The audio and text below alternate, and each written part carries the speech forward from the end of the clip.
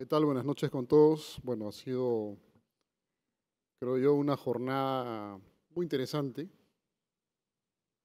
Empezamos muy temprano y, estamos terminando en la tarde, más o menos siguiendo el ritmo de lo que son nuestros, nuestros talleres, que empiezan igual muy temprano y, terminan en la tarde.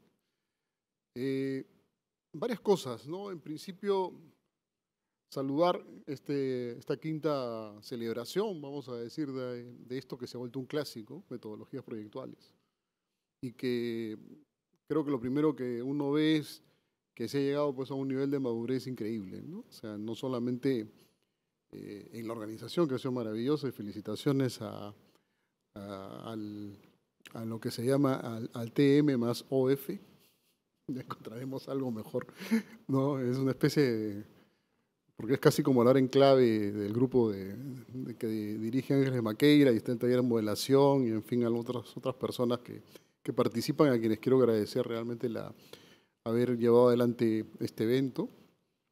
Y a los profesores, por supuesto, que en principio tengo que decirles que como director de la carrera, pues este, estoy muy orgulloso de todos ellos, eh, porque realmente me han enseñado muchas cosas, ¿no? O sea, hoy día he aprendido muchísimas cosas más, eh, o he descubierto algunos talentos en algunos que no conocía, y creo que eso como escuela de arquitectura es muy, muy importante, ¿no? El tema se presentaba como un tema interesante, ¿no? Es el tema del lugar no es poca cosa, ¿no? No es poca cosa porque siempre ha estado dando vueltas había medio desaparecido, es verdad, en los últimos años, ¿no? Pero siempre ha dado vueltas y, y la mañana escuchando a la arquitecta Gallardo este, esta magnífica eh, exposición teórica ¿no? sobre el tema, creo que en ese sentido felicitaciones también por la elección de la, de la expositora, también estuvo a cargo de, del equipo. Nosotros, el encargo desde desde la dirección y el comité académico fue que se buscara una expositora de muchísima calidad y creo que en ese proceso de investigación se consiguió la persona perfecta porque fue dejando una serie de preguntas que más o menos las hemos ido contestando durante toda esta jornada.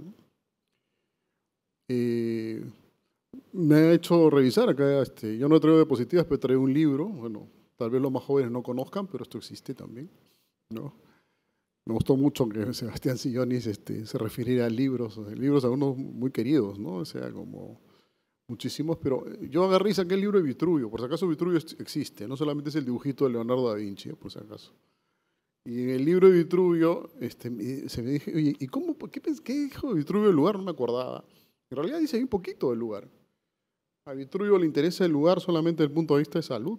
O sea, desde el punto de vista de decir, oye, ¿saben qué? Busquen un sitio este, donde las aguas sean buenas y donde sea posible pues, este, eh, construir una ciudad y que no se produzcan plagas ni cosas parecidas. Entonces simplemente eso es lo que más le interesaba. Entonces el tema es un poco tenue y más bien la, totalidad del, tratado está dirigido a la artificialidad, a la artificialidad y, una de las cosas importantes que tendríamos que decir nosotros como arquitectos es que eh, probablemente nuestro trabajo es más la artificialidad. ¿no? y que el, lugar, o por lo menos como Vitruvio lo plantea, es simplemente la buena elección del sitio, ¿no? En el sentido de que, de que, pues, que sea un lugar pues, adecuado, ¿no? Como puede ser lo que en un mundo decían, un lugar adecuado para construir, que tenga un buen suelo, que tenga buenos recursos este, hídricos en ese momento, por supuesto hoy día diríamos instalaciones y cosas por el estilo, ¿no? ¿Ha cambiado mucho la arquitectura en los últimos 2000 años? Este, yo creo que no, o sea, una de las cosas que a mí me complace decir es que la arquitectura este, cambia bien poquito, ¿no? A veces cuando me dicen, este, ¿por qué no cambiamos tanto los cursos de la carrera? Yo le digo, bueno, es que en los últimos 2000 años la arquitectura ha cambiado muy poco. Entonces no es que sea tan fácil de, cambiar las cosas. Y, mirándolo, la, artificialidad, la palabra artificialidad, el artificio, lo artificial, lo artificioso, viene a ser un poco esa cosa que tenía que ver con que los arquitectos de alguna manera tratamos de prolongar eh, la obra en la naturaleza, por decirlo de una manera más amplia, y si quieren ustedes la, situación específicamente de completar la naturaleza. Eh, se solía decir, por ejemplo, que, eh, que los arquitectos de la modernidad, que básicamente eran dos, aunque se ha esquematizado mucho hoy día el tema de la modernidad como una, simplemente una artificialidad. Claro, Le Corbusier era un arquitecto muy artificioso, o sea, buscaba siempre separarse de la naturaleza, ¿no? o casi siempre. La excepción fue Ronchamp. Así son los genios, siempre tienen un momento en el cual no siguen sus principios, pero la idea de los pilotes en realidad era flotar, era separarse. Y, el, no lugar, de alguna manera, está presente en toda la obra de Le Corbusier, evidentemente. Como, el, como sucede todo lo contrario con Wright. Wright, el lugar es determinante. Es determinante. O sea, la casa de la cascada no existiría este, si no hubiese pues, el lugar donde se coloca. ¿no? Y así por el estilo. Podemos hablar del Tales en West, en fin, una gran cantidad de obras donde hay una intención deliberada de generar hacia la naturaleza. Pero en realidad la arquitectura occidental, toda la arquitectura occidental desde, eh, desde vamos a decir, desde la, época antigua, a pesar de que se hace referencia al genius loci, que vendría a ser un término latino y por lo tanto un término que tendría que haberse usado en la época romana, eh, no era pues tan frecuente. ¿no? Yo he estado pensando muchas cosas, cuánta arquitectura romana, cuánta arquitectura clásica este, realmente se vinculaba al lugar. Mucho más frecuente, realmente, como lo han demostrado varias exposiciones, es que la arquitectura nuestra, es decir, la prehispánica, ¿no? la prehispánica, la, no, la, la, que no tiene que ver necesariamente con la tradición occidental, recuerden que nosotros tenemos ambas tradiciones, ¿no? esa se interesa mucho más por el lugar, es mucho menos transformadora, es mucho, menos, es mucho más cercana a potenciar los sitios, como creo que es evidente en la mayor parte de, todo lo que es el patrimonio prehispánico que conocemos. No lo es, como no lo es este, la arquitectura del Renacimiento. Quienes conozcan con detalle la obra de Palladio y han estado alguna vez en, este, en, este, la Rotonda o la Vía Capria, se encontrarán con la triste sorpresa que las cuatro, las cuatro fachadas son muy bonitas, son igualitas y son lindas para un póster pero cuando uno la visita, ve que una fachada es el acceso, la otra es linda porque mira un panorama, una tercera mira menos y la cuarta no mira nada, no mira nada. Porque simplemente es la colocación artificiosa de un, de un elemento dentro de un paisaje. Esto nosotros, en, algún momento el maestro Cano Romero hablaba de dos condiciones para el lugar, que había una que era simbólica y había otra que era mimetista podemos señalar un poquito que la arquitectura occidental en general ha tendido siempre a lo simbólico y poco menos a lo, mimético.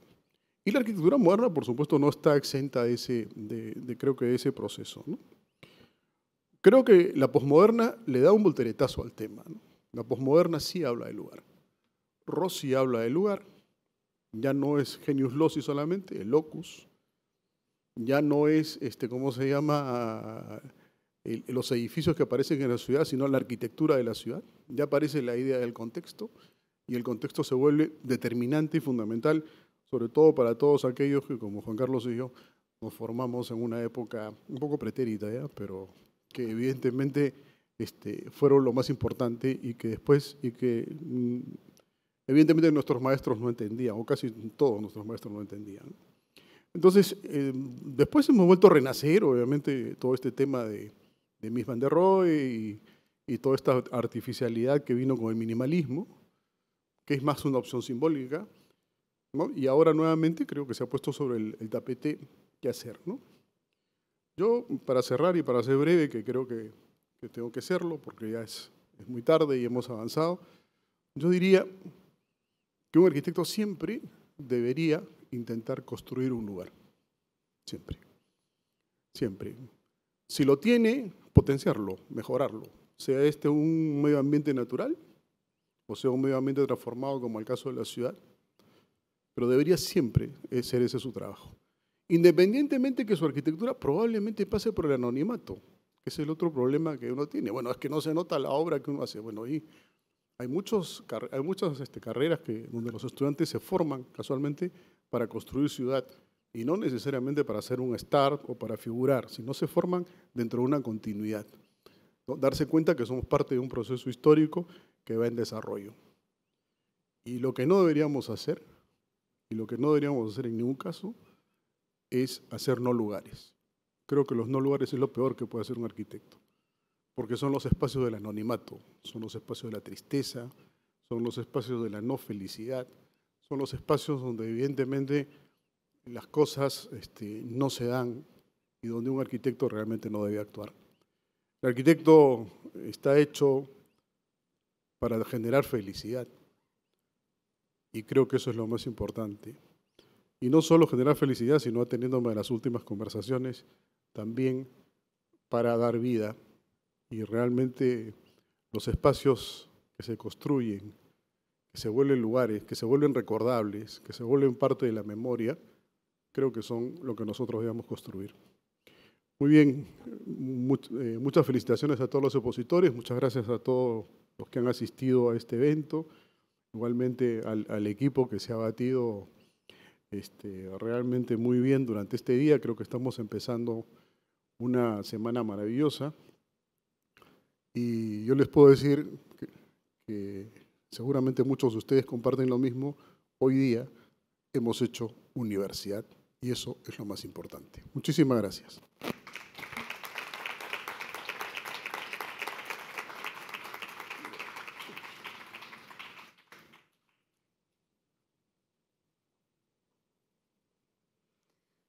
Muchas gracias, arquitecto Bonilla, por sus palabras. Gracias a todos los ponentes nuevamente, tanto por su tiempo como por compartir sus conocimientos. Gracias al público de la carrera por estar atentos durante toda la jornada. Y finalmente, gracias al equipo que ha llevado a cabo el evento. Bueno, damos por concluido eh, la quinta edición de Metodologías Proyectuales. Esperamos verlos en las próximas conferencias. Buenas noches a todos.